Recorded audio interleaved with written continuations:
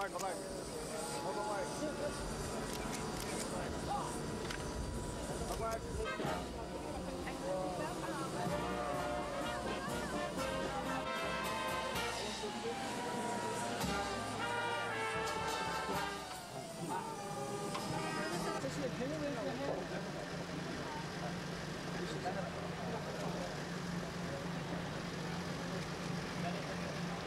you uphold democracy more, not by talking, but by action.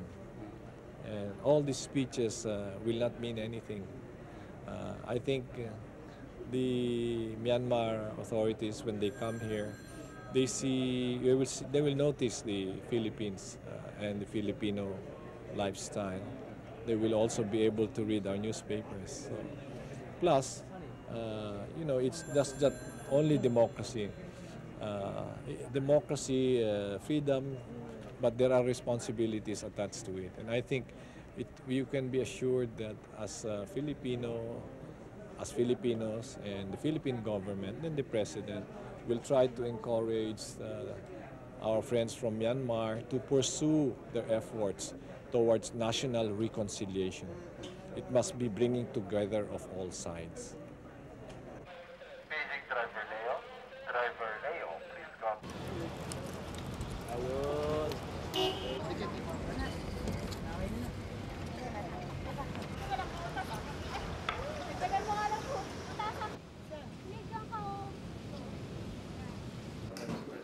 Secretary, Secretary of Monday, Secretary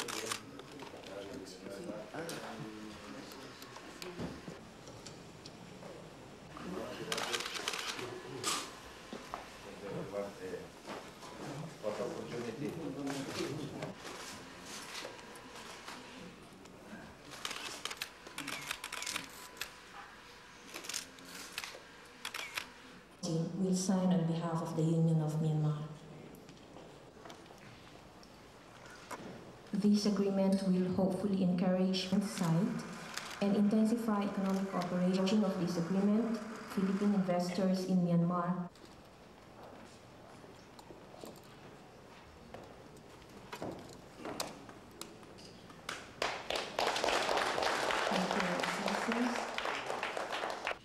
At this juncture, I would like to once again reiterate our total commitment to ASEAN and our resolve to play an active role in promoting peace, stability, and prosperity in the region.